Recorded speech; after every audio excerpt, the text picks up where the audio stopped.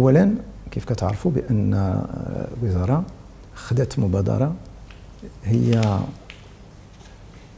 تطبيق قوانين الخاصة بالجهوية المتقدمة ابتداء من فاتح يناير 2016 وهذا كان تحدي لأن كان هناك آه، نقولوا آه، العدد ديال ديال القوانين اللي خصها تغير من جهة وكذلك من من جهة أخرى كاين هناك كثير الأشياء اللي كان خصها باش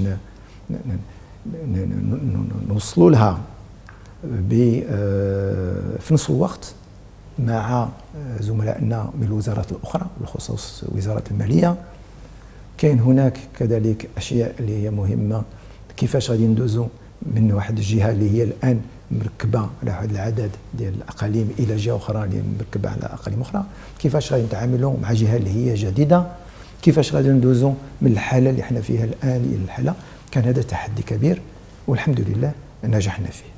وهذا آه، شيء اللي جاء بتعيين المديرين الأكاديميين الجدد هذا من جهه ومن الأهداف ديال الاجتماع هي بطبيعة الحال ترسيم هاد المديرين الجدد في المناصب ديالهم في المسؤولية ديالهم الجديدة. وفي نفس الوقت نفس العمل فيما يخص المديرين الإقليميين. بحال اللي لاحظتوا دزنا من النيابات إلى المديرين الإقليميين. وهذا خطوة اللي هي مهمة جدا. اش كتبغي تقول؟